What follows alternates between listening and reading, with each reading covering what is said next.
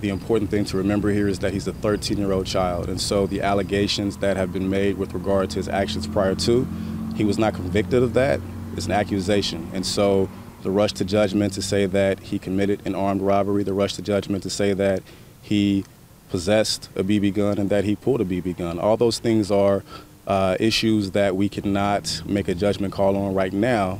There is inherent bias in the police investigating themselves. And we have a, we have an issue with uh, this being a 13 year old child and the, the call nationally already uh, for a transparent investigation into this shooting. All we want to do is, is call for a fair, transparent, and clean investigation of this um, police shooting. Columbus has a history of um, not indicting officers following um, shootings with Columbus police officers, um, and this is something that's that's been going on for a long time here within the city. They're already going through enough of losing, um, you know, their son so tragically. I mean, if anything else, we know that it was a murder.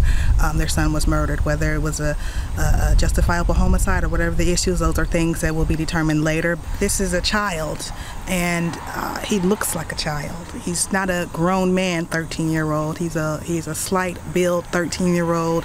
He appears angelic. He appears like a normal 13 year old would.